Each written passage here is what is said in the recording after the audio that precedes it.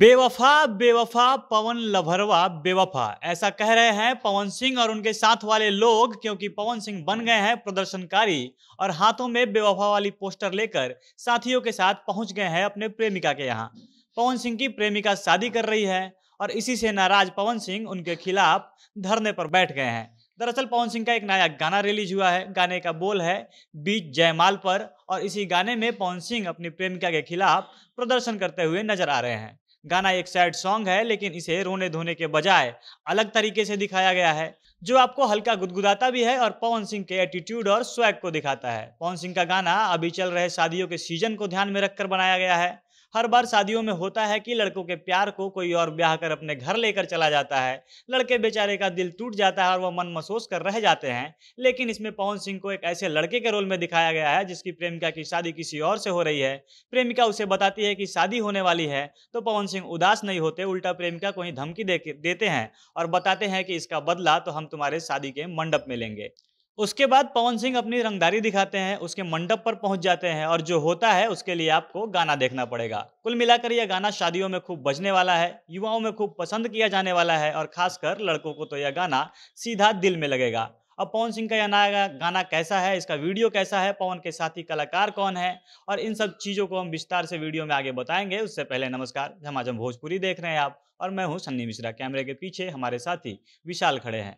सबसे पहले बात करते हैं गाने की वीडियो की तो गाना शुरू होता है, पवन सिंह बुलेट पर एकदम दमदार एंट्री लेते हैं, डेनिम जैकेट टी शर्ट और जींस में उनका लुक कमाल लग रहा है। एंट्री सीन में पवन सिंह बेहद गुस्से में नज़र आ रहे हैं, उसके बाद सामने से पवन की हीरोइन स्वीटी आती हुई नज़र आती हैं वो बेहद खुश हैं, उनका चेहरा चमक रहा है। पवन सिंह बुलेट से उतरते हैं, गुस्से में जाकर स्वीटी को रोकते हैं और कहते हैं, काहे खातिर कैले रहलू हमरा से प्यार हो और दूसरा से शादी ला जब भैलू तैयार हो। हमरा के छोड़ देले बाड़ू हमरा हाल पर, गोरी नया साल पर हम बैठी हड़ताल पर। फिर पवन सिंह के साथ वाले चिल्लाते हैं, बेवफा बेवफा, पवन लभरवा, बेवफा। और आगे पवन सिंह स्वीटी को धमकी देते हुए कहते हैं, डीजे बजा के तोहरा बीच जयमाल पर किस लेहब गाल पर। पवन सिंह यही नहीं रुकते, वो आगे और बड़ी बड़ी धमकी देते हुए कहते हैं कि यदि बरिवारी दीवाना से जे रोकी, सिक्सर के छः गोली छाती में दी ठोकी। दूसरे सीन में पवन सिंह की प्रेमिका स्वीटी की शादी हो रही है। जयमाला के स्टेज पर वो अपने होने वाले पति के साथ जयमाल लिए खड़ी है। गाने की लाइन बजती है कि साथे बाउंसर रही सै गो फ्रेंड हो और पूछो ना उखाड़ पाइए तो हर होके वाला हस्बैंड हो।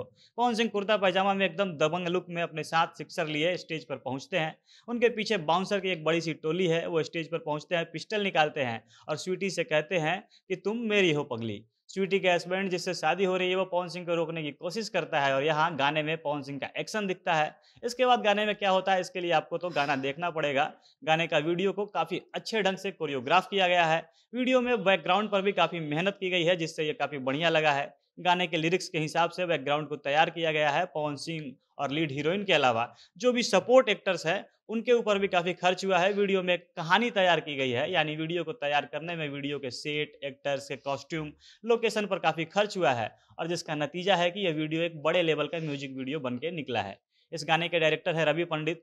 वही रवि पंडित, जिन्होंने पुदीना वन, पुदीना टू गाने का निर्देशन किया है, उसमें एक्टिंग करते हुए भी वो नज़र आते हैं। इस गाने का संगीत दिया है प्रियांशु सिंह ने। प्रियांशु सिंह के बारे में क्या ही कहा जाए, जितने भी आजकल नए गाने आ रहे हैं पवन सिंह के, सब में प्रियांशु सिंह का ही म्यूज़िक हो रहा है। जैसे कुछ गान, पिछले कुछ गानों की बात की जाए तो हरी हरी ओढ़नी पुदीना टू, घाव दे दे हुए यानी प्रियांशु सिंह, पवन सिंह के हिट गानों का दूसरा नाम बन चुके हैं। प्रियांशु के बनाए म्यूज़िक पर पवन सिंह के गानों का हिट होना तय सा हो गया है। हालाँकि इस गाने का म्यूज़िक उतना खास नहीं है जितना पिछले कुछ गानों में पवन सिंह की म्यूज़िक रही है। इसका म्यूज़िक उतना असर नहीं छोड़ पाता है। गाने को लिखा है धीरज बबुआन ने। उन्होंने लिरिक्स को आकर्षक बनाने की कोशिश की है।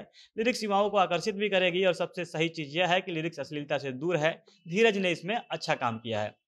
गाने में आवाज़ है पवन सिंह की। हालाँकि एक जगह शिल्पी राज का कुछ डायलॉग सुनने को मिलता है, लेकिन गाने में उनको कोई क्रेडिट नहीं दिया गया है। सिंगर के नाम में सिर्फ़ पवन सिंह का ही नाम दिखता है, और इस गाने को शुभ लाभ फ़िल्म नाम के यूट्यूब चैनल पर रिलीज़ किया गया है।